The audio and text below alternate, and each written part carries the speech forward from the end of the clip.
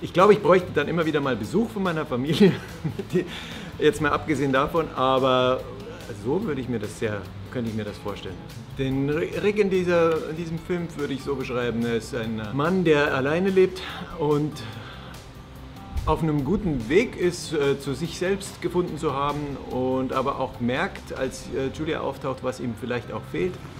Reindrücken, Ja. ganz nach rechts und nach hinten. Muss ich auch Abracadabra sagen?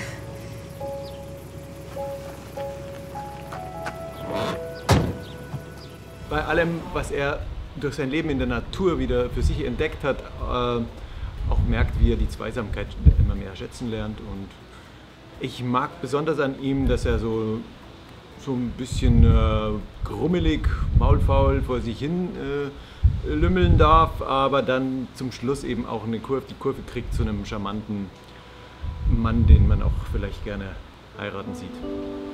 Liebe ist für mich aufmachen und loslassen.